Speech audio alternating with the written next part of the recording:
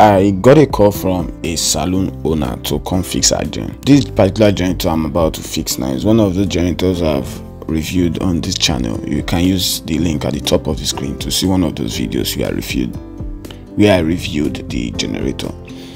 So she told me the generator particularly just reduced voltage and the speed of generator reduced, the sound of generator reduced. And of course, I got there let's fix the generator together.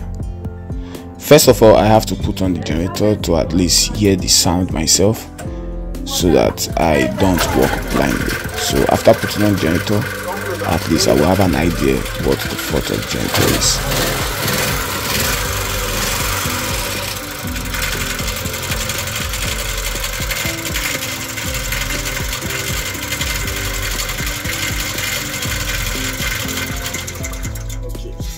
I did put on the generator and straight away I understood where the fault was from. It was very very easy.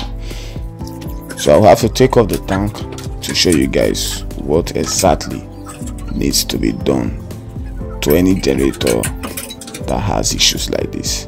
Stay with us guys.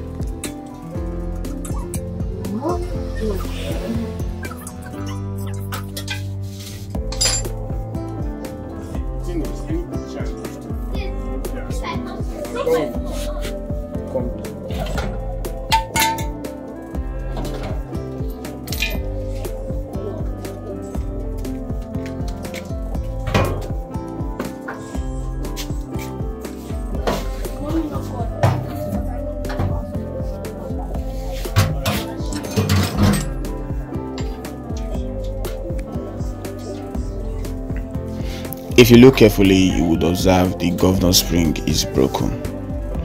And this is one thing that happens when a governor spring is broken, your generator can never have the required speed needed to provide the required voltage for your appliances. So what you will observe is that your generator sound is low, that means the speed is low and it equally affects the voltage. So instead of getting an output of 220 volt or thereabouts, you could be getting something like 110 volt. And it's like, so after recognizing the fault of the generator, knowing fully well that it's now the uh, governor spring, the next thing to do is to get another spring and fix it immediately. Now we'll fix the spring.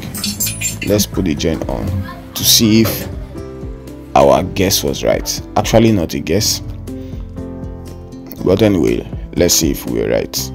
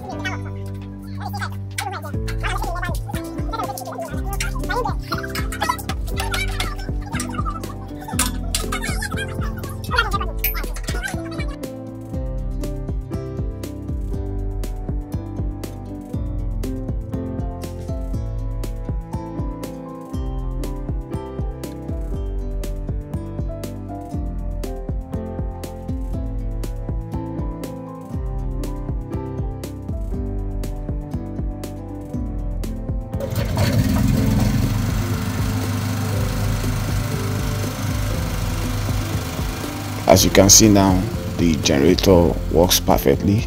The speed is back to normal sound is back to normal and of course the voltage is back to normal. If you enjoyed this short video of us please do well to subscribe and like this video so when other video are posted you are among the first to see them. Till meet in our next class is goodbye from us. Take care. Happy new year. Welcome to 2024